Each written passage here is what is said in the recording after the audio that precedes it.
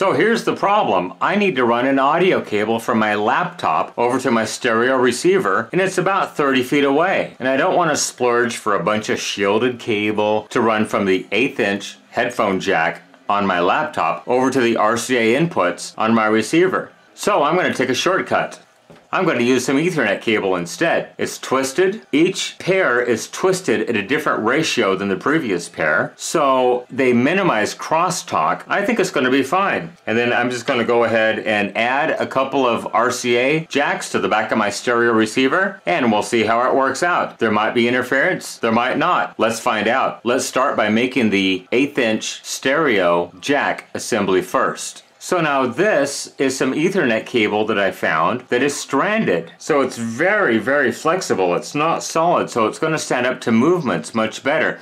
And I've chosen to use the orange lead as the right channel and the green lead as the left channel. So I've just went ahead and twisted the orange, white, and green white together and that's going to be my ground reference. I'm just going to go ahead and solder these up to this jack. These are a bunch of jacks I got on eBay. They came from China. They're really cheap, but let's look at the inside of them here. So you can see there's four conductors in here. Now this terminal right here corresponds to the tip right down here. This terminal corresponds to the second lead, which is the right channel. The tip is the left, the next ring is the right, the next ring is actually ground, which is this one right here. And you would think this one is ground, but no, it's not. This is the microphone input in case you're using a headset that has an external microphone, like so many little headsets that come with your phones. So left channel, right channel, ground, and microphone input. But what we are going to do is we're going to take this microphone input right here, and we're going to attach it to ground just by soldering a jumper wire from the back here to the front right here. So let's go ahead and get that part ready and ground out the microphone input. So the phone or whatever you plug it into recognizes that it's not a device with microphone inputs. So I've got a pair of pliers here with a rubber band around it so that they'll kind of clamp in a little makeshift vise. So I'm just going to go ahead and add a bead of solder to the back side of this. There we go. That looks nice. Now this here is just a lead from a resistor or a capacitor. And I want to just tin it. Then I'm just going to tack it down here. And then I'm just going to bring it around town. I'll bring it back around here. Clip it off. Make sure it's nice and tight. Now I'm going to add a little bit of flux to this to make the solder flow just a little bit better. So this is Amtech flux. It's the flux that Louis Rossmann recommends. If you haven't seen Louis Rossmann, check his channel out. It is absolutely awesome. It just helps the solder to flow a little bit easier. So I'm going to go ahead and we'll add some solder here. Let it get up to temperature. There we go. That one's soldered. Now that that is soldered, we'll go ahead and flip this over. We'll solder the other side. So it's a complete ring. It's soldered on there now. So the microphone input is soldered to ground. So the phone or whatever you plug it into will recognize that it's an actual stereo device and not a multimedia device like a microphone or a headset. So now all we have to do is go ahead and attach our leads. Ground is going to go to right here, left channel to here, right channel to here. I'm just going to tin those. This is the green, and this is the orange. Now we'll go ahead and trim those off a little bit to make a little bit shorter so they'll fit a little bit better.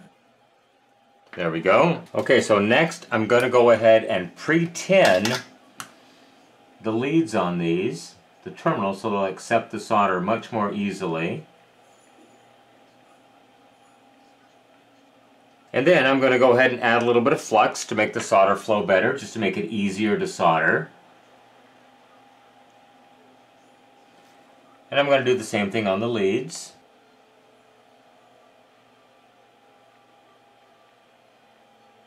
So now make sure if you're going to do this that you don't forget to slip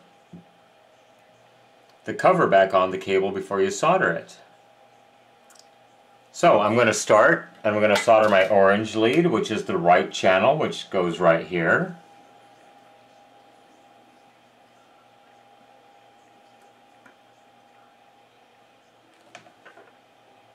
And then I'm going to do my green, which is the left channel. And then I will go ahead and add my shield.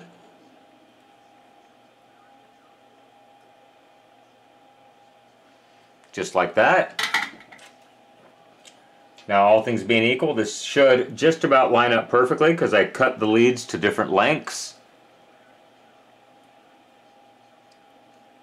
Next we'll go ahead and just screw the cover back on.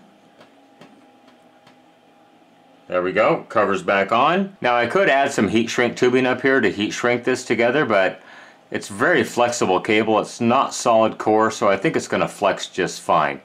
Now let's go ahead and prepare the RCA ends. So I'm just going to start by lopping off my RJ45 connector here. I don't need that anymore. It's gone. I'm going to strip back probably about, I'd say four or five inches off the end of this cord. So I'm just going to very lightly score this.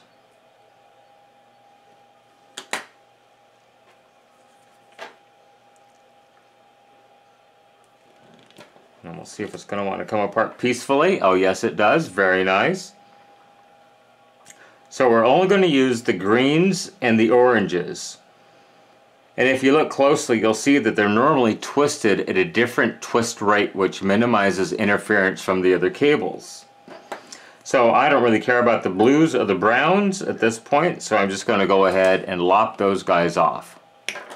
They're gone. So now I just have a two pair twisted cable with greens and oranges. So my left channel is going to be the blackjack. So I'm going to go ahead and open it up. I'll go ahead and put the sleeve over the greens. And based on what I see on the jack here, I think we can strip them both to the same length and we're going to be okay.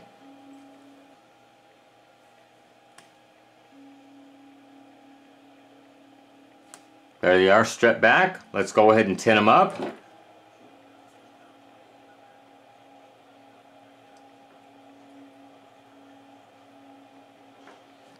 And we'll trim off the excess. And then I want to pre-tin my jack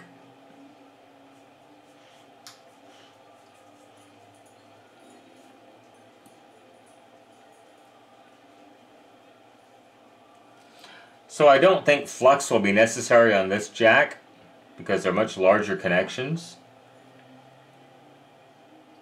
So my green white is going to be the ground lead and my green shall be the hot. Alright, left channel is done. Let's do the right channel now. So same thing for the right channel. Let's go ahead and slip our cover back on it. go ahead and strip back just over an eighth of an inch. I'm going to go ahead and clamp the other lead. Wow, this one's really bent up. I think it'll be okay though. Because I'm not going to use the strain relief because this is going to be a, basically a motionless area. So I want to pre-tin the leads. Don't keep heat on those too long. They will melt very easily.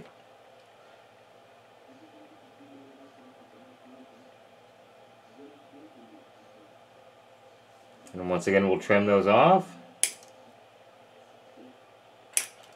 So the, once again, the orange-white becomes the ground. The orange becomes the hot. And we'll slip the cover back on it, and there we go. So we have our right and our left leads ready to go. And now on the other end, we have our eighth inch stereo jack assembly ready to go. So let's go ahead and hook everything up and give it a try. Alright, so let's go ahead and plug the cables in now. There's my left and my right going into the CD input back here. Okay, so I have my laptop set up here and I have some YouTube copyright free audio. So there's the music playing through my laptop. I have my cable made up here and ready to go. Let's plug it into the earphone jack.